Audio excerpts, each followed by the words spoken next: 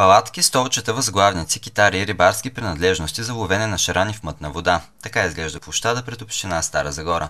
Ето какво споделиха природозащитниците от Запазете Бедечка. Това е символичен знак, че няма да се съгласим на нещата, които ни се предлагат и Общински съвет в септември месец гласува едно решение.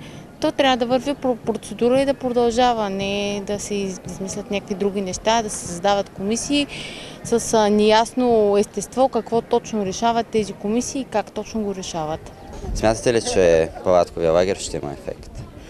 Смятаме, че показва гражданската ни позиция.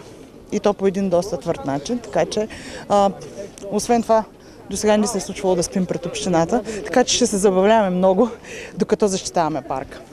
На протеста присъства и кмета на града, чието предложение е да се произведе местен референдум.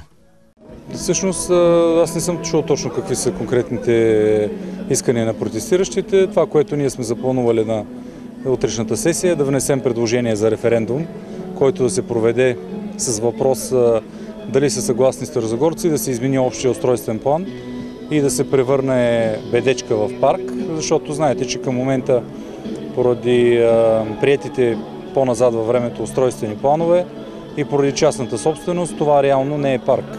Така че това предстои да бъде гласувано на утрешната сесия.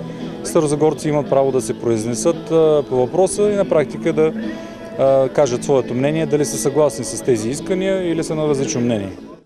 Идеята на природозащитниците е да нощуват пред общината и да посрещнат местните старейшини преди сесията на Общинския съвет, от която ще стане ясно дали на 18 юни в Стара Загора ще има референдум.